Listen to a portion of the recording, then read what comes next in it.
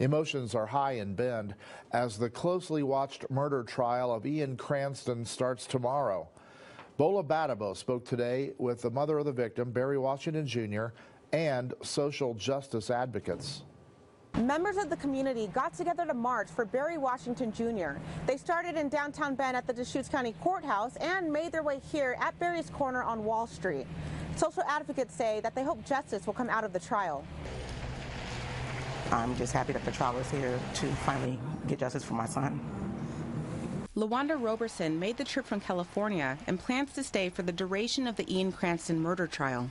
The proceedings begin this week at the Deschutes County Courthouse in Bend. The impact of this is going to reverberate for years to come. Cranston is going to trial on second degree murder, manslaughter, and other charges in the shooting that killed Barry Washington Jr.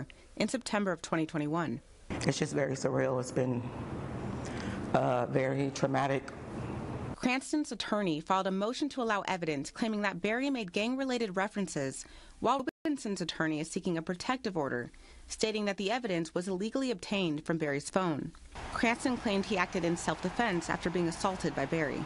He also made statements to officers after being detained, which his attorney tried to suppress.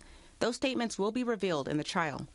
The high profile case has garnered a lot of support for Barry Washington, but LaWanda says she's also received very hateful and racist comments. And when I see those comments about my son, it just it just hurts me to the core. Barry Washington Jr. was murdered in our streets. We want to see the justice system actually prevail for once. The trial is expected to last 12 days. Bola Badebo, News Channel 21.